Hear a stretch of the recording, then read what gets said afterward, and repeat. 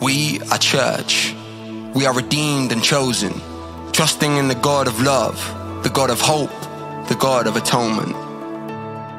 We are church. We believe in one way, one truth, one life.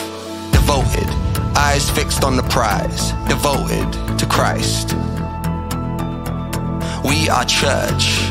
We put God first. We are like minded people created in Christ for good works made in the image of greatness, made to reflect the greatest love ever known.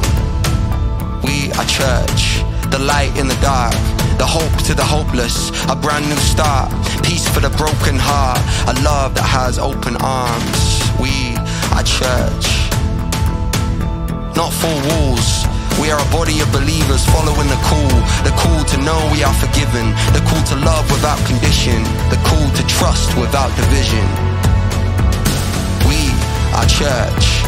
A community with open doors, serving the poor, living for more. We are broken people with a united cause, an unbroken love in a divided society proclaiming Jesus is Lord. This is what we do. We don't judge, we don't hold a grudge. We are not perfect, but we aspire to love. We.